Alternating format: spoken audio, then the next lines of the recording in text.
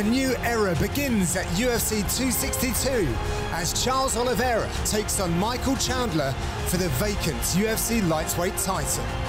Veteran fighter Charles Oliveira has long been a contender at 155 pounds. But recent wins over Kevin Lee and Tony Ferguson have propelled the Brazilian to the top of the heap. This guy continues to get it done. Now Do Bronx gets his shot at the gold against a man determined to spoil the party. Michael Chandler's introduction to the UFC audiences was swift and brutal. Michael Chandler, bona fide UFC lightweight contender. The American now feels more than ready to claim the mantle of king of the UFC's lightweight division. Beat me if you can. See you at the top. Will Iron Mike fulfill his destiny and claim yet another world title? Or can Do Bronx prove himself undeniable and finally seize UFC gold? Hello and welcome to UFC Inside the Octagon, where today we break down the massive vacant lightweight title bouts between Charles Oliveira and Michael Chandler. My name is John Gooden. I am delighted to be joined by Laura Sanko for this one. Laura, it is a new era for the lightweight division. For the first time in three years, we will see a new champion. It will, of course, be between the Brazilian and the American. What say you about this main event? it is a new era and there's something there's something exciting something fresh i feel like in the lightweight division right now for so long we had this sort of godlike figure in Khabib Nurmagomedov and every storyline was built around can this person beat Khabib? and now we have a fresh slate we have two contenders and a vacant title and as I was thinking about um, talking about this fight, what I love about it is we have now no longer this godlike figure. We have two imperfect heroes who are looking to collide at just the right time in their career. And we will then know who is the new lightweight champion. But the fact that these guys have not had the type of career that Khabib had. You know, they're not undefeated. They both have had struggles. They both have had to pick themselves up by their bootstraps. So it's a much more relatable type of champion. It's yeah. my kind of champion, and um, I'm just so pumped for this one. Can't wait. And interestingly, and what excites me, is that we've never analysed either of these fighters before here on Inside the Octagon. So we're going to get into that right now. Let's pull up the facts and the stats as we always do. And we have well, two challenges. First up, let's talk about Charles Oliveira, just 31 years of age, Laura, but joined the UFC in August of 2010. The guy's been around for so long, as we see there, most finishes in UFC history, 16 post fight bonuses as well. We know him for submissions, and he comes into this one as a physically bigger fighter as well.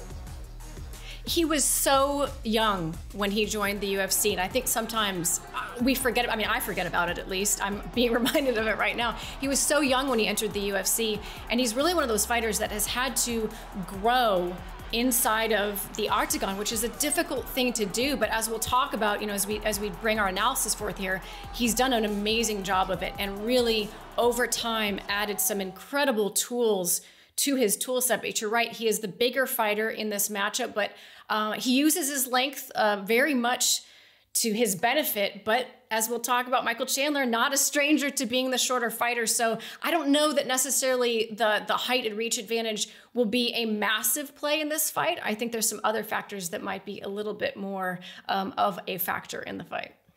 Well, let's take a closer look at Michael Chandler then and bundles of world level experience, three time lightweight champion outside of the UFC. And this is the big one for me. Never been submitted in his pro career. That spans 27 fights. I think that might get tested. Yeah, that's a, that's an important stat to have when you're facing Charles Oliveira, who not only has all the accolades that you touched on just a second ago, but holds the record for the most submission victories in the UFC, and in fact Indeed. just keeps breaking his own record over and over and over. You know, creating this gap between him and the rest of, of the pack there. So yeah, for Michael Chandler to come into this fight having never been submitted in in so many fights, and he has faced some very good grapplers in his past. You know that that's an important point to make here as well. So the fact that he has had that number of fights, he has faced excellent competition in the jiu-jitsu department, never has been submitted. That's that's very important when you're facing Charles Oliveira. Yeah, looking very much forward to uh, seeing how this one shapes up. Let's get into the analysis of what we know about both of these fighters. Obviously, we have a whole lot more stuff to look at for Charles Oliveira. And let's start there, shall we? So I guess we've got to just we've got to focus on the submission threat, right? Because the guy's got the most submissions, as you just mentioned. Interestingly, as well, he's got the most styles of submissions that we've ever seen in the UFC as well, tied six with Frank Mir. And he just gets it done kind of wherever he wants, whether he's under attack, on the attack, it, just formidable. Yeah, you said it right there. I mean, it's not just that he is a submission threat. It's he's a submission threat in every respect that you can be. You know, sometimes there are fighters whose submission game is built solely around being offensive with their submission. I mean, you know that from the gate, that's all they're focused on. That's all they're doing. You know, Demian Maya, for instance, comes to mind. You knew what Demian Maya's game was every time he entered the octagon. But Charles Oliveira is a little bit more sophisticated than that because he not only can play that game where he's just out there looking for the submission, he now, at this point in his career, has developed such a sophisticated level of striking, a very tricky style of striking, and a wrestling game that he's a true mixed martial artist. He's not just out there looking for the submission. And quite often, at this point in his career, he's much more uh, of an opportunistic submission artist. So whether he's hunting the submission or he's creating opportunities to find a submission with his striking, uh, it's there for his taking pretty much any given opportunity and from really any position as well. As you mentioned off the top, six different submission styles. So whether he's on top, whether he's inside control, bottom half, top half. You know, he's got a calf slicer for Pete's sake. I mean, the man, anywhere he is on the ground in a scramble, regardless of what it is, he is absolutely a submission threat. But what I like, as I mentioned a second ago, is his evolution to finding more of these opportunistic submissions, which really speaks to uh, the striking game that he has. And I think a great example of that was when he was fighting Kevin Lee. And if you'll remember, in that fight, uh, they were having some fantastic striking exchanges, but then round two came, and Kevin Lee really did a phenomenal job of of staying on top and out wrestling Charles for a lot of the second round. Um, but then in the third round, you'll see that the pace of their striking has slowed a little bit at this point. It's third round, it's been a furious pace. But then, right as soon as Kevin Lee goes in for this single leg, Charles Oliveira is immediately in on this guillotine, wasting absolutely no time, and a very quick tap to boot. So you know that guillotine was in as soon as he hit it. But you look at the details. As soon as Kevin ducks his head, already, let's back it up there a second. Already, Charles Oliveira is slicing his left hand through under the chin of Kevin Lee before Kevin is even truly in on the single. He's before he's even making full contact. And then Kevin does a good job of trying to hide his head and stay very tight, but Charles Oliveira already slicing under the chin uh, to get that the the guillotine in. But the second thing he does is as Kevin takes his right hand to grab the hip and twist Oliveira down, Charles squares up and creates this beautiful right angle uh, that allows him to again have the guillotine well before they hit the ground, which is why you see Kevin Lee tap so quickly. And it's not just that Charles can get any type of submission, it is the speed with which he gets to the tapping level of a submission. I mean, a lot of us, even even people like me, can get a guillotine if someone's shooting on you, but it's truly getting a guillotine. You could get your arm in, but to be able to figure out the positioning of your legs and really have it wrapped up, I mean, that is that's next level stuff. And I dare say that might be a level of jujitsu that Michael Chandler has not yet faced. It's yeah, it's just exemplary ability to to finish, and what a great equalizer against someone who decides to wrestle. And we've got to look at that. We're going to get onto it in a second, but Michael Chandler comes from a very, very good wrestling background, so you've got to think he's going to kind of use that skill set as well. But if you look at the tape, like we've just seen that you put together there, it does make you think twice. So let's turn it over to Michael Chandler then. And we've seen just a little bit in the octagon from him, and what a performance it was. Followed it up with a hmm. magnificent post fight speech as well. But let's talk about the specifics of his fighting style, shall we? And for the uninitiated around Michael Chandler, what are we looking at when we take his body of work? Yeah, well, if, you, if you're going to talk about the submissions of Charles Oliveira, you have to talk about the wrestling of Michael Chandler. Little shout out to uh, I'm a Missouri girl, so M I Z Z O U coming over here. Uh, that was, of course, where Michael Chandler wrestled Division One. I. I mean, phenomenal accolades. So this is this is a true cornerstone of his fight game. Uh, but like how Charles Oliveira uses his striking to set up his submission game. Michael Chandler uses his striking to set up his wrestling, but he also uses his wrestling to set up his striking. So when you're an opponent coming in thinking about facing Michael Chandler, it's not just that you're thinking, oh, this guy's going to shoot on me. He's got hands as well. And so they complement each other so beautifully. And if you haven't had a chance to see his work previous uh, to the UFC, that's really the bread and butter of what he brings to the table. He's got such a powerful style of striking. He's, he grounds himself into the canvas. But what he does so sneakily is there's always that question mark is he about to shoot on me? Is he about to shoot on me? Or is he setting up some really big punches? And in the one beautiful piece of work that we have gotten to see in the UFC, that is precisely what he did to Dan Hooker. You know, in that fight, Chandler comes out. This is typical Michael Chandler stance, a very low stance, uh, very athletic. You can tell he's just ready to explode in at any time. And right away, he starts threatening with this, this right hand to the body and looking to show Hooker, hey, you know, I've got this right hand, it's coming for you. And constantly showing a level change going to the body, showing a level change going to the body. And then you can feel this sort of momentum building where he starts level changing more and more and you can and he does this double level change and then bam bam the right hand and the left hook come. It's hard to appreciate though until you go to the slow motion and you can see michael chandler's level change. He stays so low to the canvas when he lands this right hand. You have to kind of back it up there for a second to see but he stays so low. But then he stays down at that level and is looking at the hips of dan hooker selling I'm about to shoot in, I'm about to grab your hips, takes a right step, so he switches to southpaw.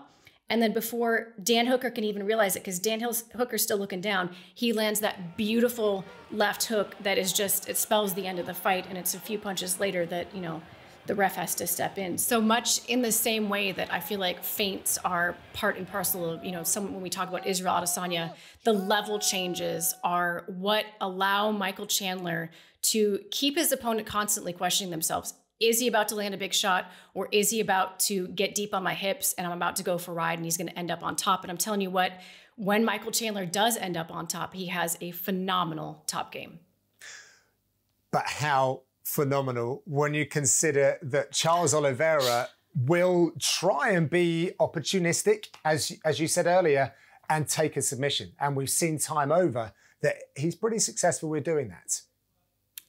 I, I, at the end of the day, I think that that is what this fight comes down to, right? Um, when and if, and I do think it's more of a matter of when they end up in this position where Michael Chandler is on top and Charles Oliveira is on bottom. How is this chess match going to play out? And I can tell you from watching Michael Chandler's uh, career prior to the UFC, he has faced really high level grapplers before. Brent Primus and uh, Yamauchi, both amazing grapplers. Um, with Primus, he was able to get out of one of the deepest rear naked choke uh, submission attempts I've seen. I mean, his face was changing colors.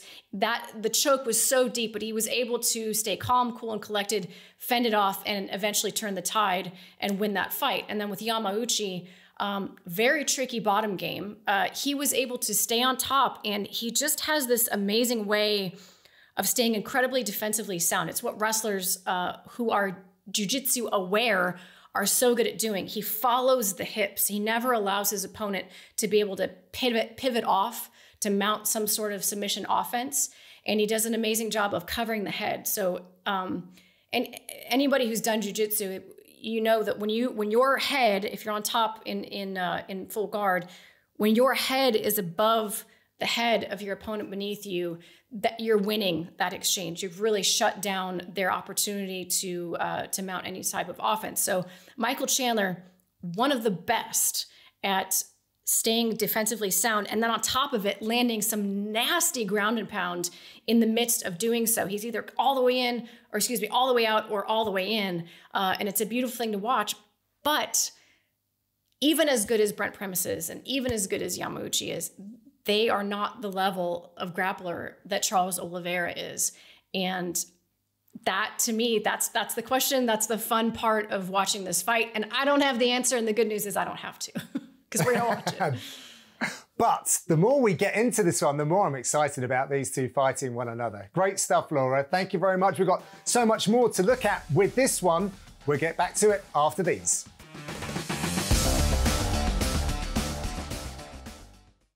Welcome back to UFC Inside the Octagon, where we're breaking down the main event for UFC 262 for the vacant lightweight title between Charles Oliveira and Michael Chandler.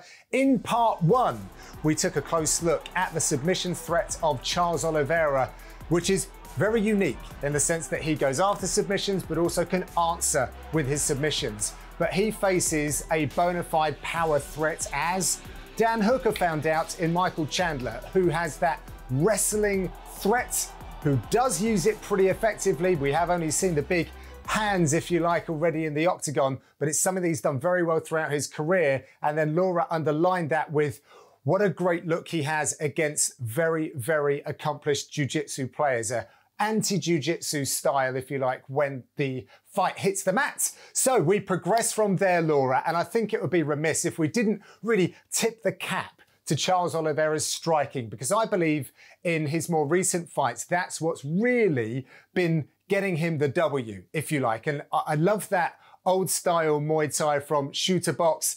But I'm wondering whether you think some of the more explosive and dynamic tricks that he's added, like the jumping front kick, for example, whether they're things that he can actually use against a fighter like Michael Chandler. Yeah, it's a great question, John, because, you know, practical wisdom tells us, you know, you don't kick a wrestler and you don't throw flying knees against a wrestler because all of those things make it much easier for them to complete a takedown because the thought is they're always going to be shooting on you.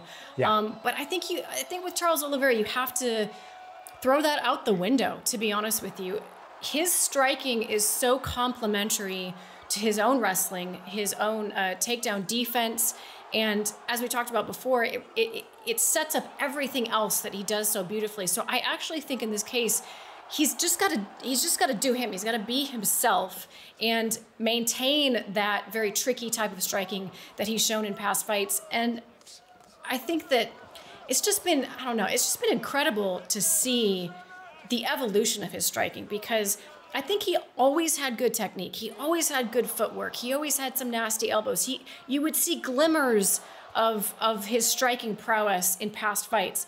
But I would say since maybe the Teymur fight or the Lentz fight, we have really seen him sort of like own his own power. And I think the knockouts are not just coming from uh, superior footwork and excellent technique. I think it's coming from confidence and him finally believing that he was more than a jiu-jitsu player um, and more than a guy that could get it done on the ground. And he has certainly proven that with a number of knockouts recently. And i think that that's what's gotten us to where we are right? He's always had that submission threat. You add in the striking the knockouts and that is why he's in this position right now getting this title shot. And i think what you're talking about complementing the various ranges of his style, but when you're flying through the air with jumping kicks and pushing your opponent up against the fence, like Oliveira's got additional tools like body lock takedowns and things of that nature, which again just just really help him be a constant threat. Oh, absolutely. And I, I, was probably most impressed by his own wrestling. And like you say, it's set up by these crazy strikes against Tony Ferguson. I mean, we don't, in the past, we hadn't seen Tony Ferguson taken down seemingly at will, and certainly not by Charles Oliveira. You know, he he got in on those body lock takedowns. And he does such a beautiful job when he gets him from the back. He knee bumps in such a way that he immediately lands ready to take the back and get hooks in. If he's doing it from, if he's body locking from the front, he's tripping or again, knee bumping in such a way that he lands in top side control. So uh, Charles Oliveira is not a explosive, folk style wrestler in the way that Michael Chandler is, but his own wrestling tools are very effective. And we have seen him start, you know, shooting some double legs. Uh, I, I don't know that he'll be doing that in this fight, but my jaw will not necessarily hit the floor if he looks for some sort of body lock takedown against Michael Chandler. Yeah, no, I, I agree with you. Well, flipping it over to the other side then, and how different is Michael Chandler's striking style to the Chute Boxe Muay Thai that we see from do Bronx? It's pretty different, you know. As you say, Charles do Bronx, the Chute Boxe Muay Thai, uh, a much more upright stance. He holds, you know, kind of a nice, not overly high, but sort of a, a medium tight guard for the most part. Michael Chandler, you know, for the majority of his career, has trained under Henry Hooft, and so he has that very strong Dutch style of kickboxing uh, that lends itself to power shots. You know, you see these one, two, three, whap, whap, whap, and then you end with a low kick type combination. And Michael Chandler's striking is really rooted predominantly in his stance. Uh, the way that he athletically like roots himself to the canvas produces the power that you see in his hands, the hooks, the straight shots, all of that comes from this very low center of gravity and this athletic base that he keeps. But that athletic base is also, I think, in some ways, what he has to be very careful of. Not that you want to take it out of his game, but we have seen him in, in that first Brent Primus fight. You know, that's how the fight ended. He took a leg kick uh, right above the knee, hit the peroneal nerve, and got drop foot like we've seen these other fighters uh, get recently, whether it's Sean O'Malley um, or uh, Jimmy Crute most recently, he took one kick and you could tell that from then on, I mean, his ankle was just shot. So he is in some ways susceptible, um, as anybody would be, but particularly in that very athletic stance where he's putting a lot of weight on that front foot, he is susceptible to the leg kicks. So he's going to have to stay very defensively sound in that way. And also, just in terms of counters, Charles Oliveira does an amazing job of finding the right openings and being very surgical with his straight shots, uh, which was, you know, Chandler's undoing against Patricio Pitbull. So there are openings, but I'd say in large part, Chandler brings a, a very heavy striking game that sets up the wrestling and the rest from there and talk about motivation for these two lightweights, right? Charles Oliveira, as yeah. we've said, like hammering it home, the, the amount of time he's been with the organization, the, the ups and downs in his career, his people from Sao Paulo, uh, bringing Brazilian Jiu Jitsu to the masses, such a lot carried on his shoulders, but also imbuing him with this sense of, you know, becoming such a great champion. And, and then on the other side, Michael Chandler coming over to the UFC and making a splash. It's it's so listen. I love the Khabib era, truly did, but it is nice and refreshing for for analysts and and commentators like you and I to talk about these different protagonists.